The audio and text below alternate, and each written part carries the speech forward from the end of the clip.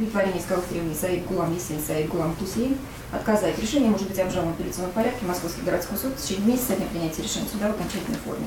Басманный суд Москвы отказал афганцу Саиду Гуламу Ясину в жалобе на непредоставление временного убежища в России.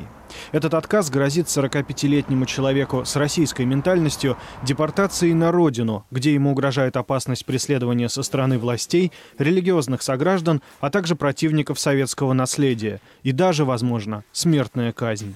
Упоминалась уже э, на судебном заседании судьба э, некоторых вот так называемых интернатников, которые Э, учились в Краснодаре, которые предприняли попытку возвращения в Афганистан, тоже не от хорошей жизни, а потому что они устали, значит, за несколько десятков лет их правовой статус так и не был отрегулирован Российской Федерацией. Они предприняли попытку возвращения и были расстреляны э, вот, в полном составе. Это была группа друзей, так сказать, однокурсников, которые вот приехали, репатриировались, так сказать, на свою родину и, значит, были истреблены. Ясен был привезен в Советский Союз в 1985 году году по программе приема афганских сирот в советские школы и интернаты. На самом деле, среди почти двух тысяч привезенных афганских детей многие были не сиротами, а детьми чиновников и военных, специально отобранных для получения советского образования. До 11 лет я жил в городе Чарикар, провинции Парван. Мама сказала, что я хочу ехать в Россию.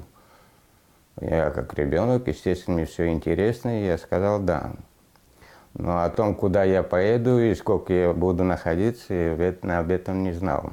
Никаких контактов с родными у увезенных детей не было. Сотрудники интернатов читали им поддельные письма родителей, где те подбадривали детей и призывали к усердию. Всех собирали, читали чью-то письмо, что вот как его родители гордятся, что он так терпелив ради своей родины – учится, занимается, хочет стать великим человеком, хочет стать защитником своей родины. И это мы потом поняли, что писали сами преподаватели, лишь бы как-то успокоить, усмирить детей, чтобы они не паниковали. К нам приезжали генералы, к нам приезжал сам президент Наджибула с подарками – Учились в интернате по ускоренной программе. Затем образование продолжалось в различных училищах. Я был направлен в Егорьевске на обучение. Я техник, механик по фюзеляжу двигателя самолета гражданской авиации. Затем распался Советский Союз.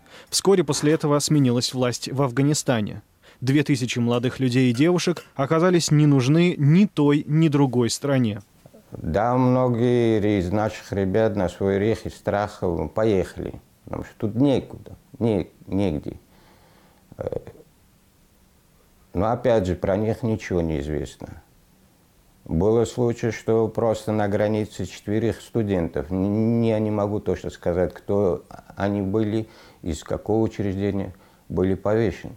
И эти фотографии даже появились в посольстве.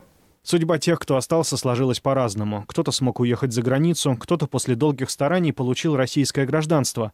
Но Ясину не удалось легализоваться в России до 2006 года, когда он попал в тюрьму по обвинению в продаже наркотиков, сфабрикованным, по его словам, во многом из-за его незащищенного правового положения. Мне за это э, дали 7 лет. Я эти 7 лет отсидел. Неприспособленность детей из интернатов ко взрослой жизни, их непонимание устройства большого мира являются проблемой и для российских детей. А уж для иностранцев это становится настоящей ловушкой. Пока они там находятся, они знают, куда идти, с кем разговаривать, когда есть, когда ложиться спать. Все расписано. И все зависит не от них.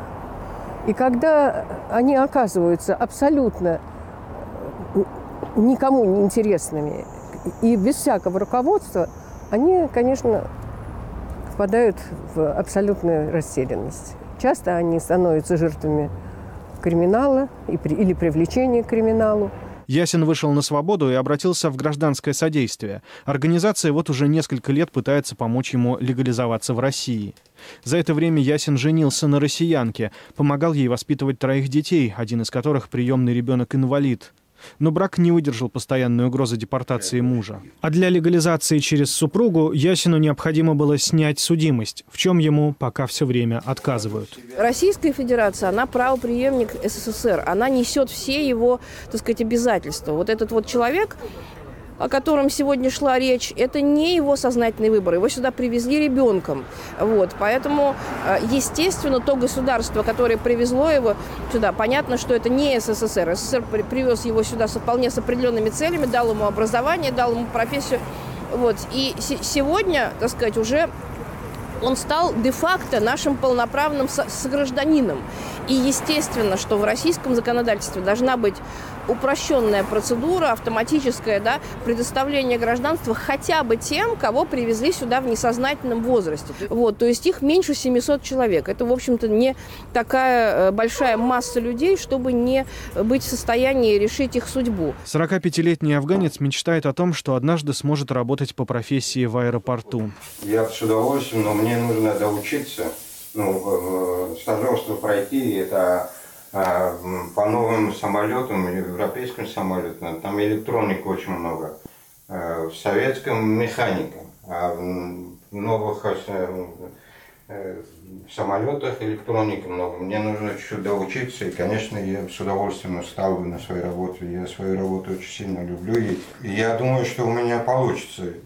Пока живет в гостях у друзей, перебивается подработками, реставрирует деревянную мебель, ремонтирует квартиры и продолжает надеяться, что страна, в которой он живет уже больше 30 лет, наконец даст ему возможность жить полной жизнью. Мне уже 45 лет, и ни кола, ни двора, и ни документов. Не обидно, что да, тут есть и мои ошибки, мои недостатки, мое недопонимание. И обидно, что жизнь-то уже все, осталось чуть-чуть, и я еще ничего. Никита Татарский, Радио Свобода, Москва.